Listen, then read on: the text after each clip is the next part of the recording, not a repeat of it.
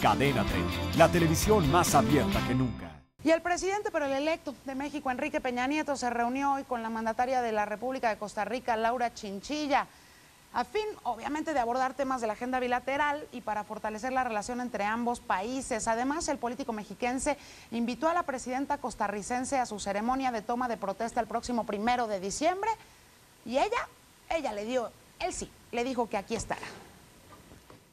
Entérate de los últimos acontecimientos de México y el mundo en Cadena 3 Noticias. Síguenos en Facebook como Cadena 3, en Twitter como arroba cadena 3-mx y suscríbete a nuestro canal de YouTube Cadena 3 Noticias e infórmate de los videos que a ti te interesan. ¿Quieres ver más? Te recomendamos estos videos.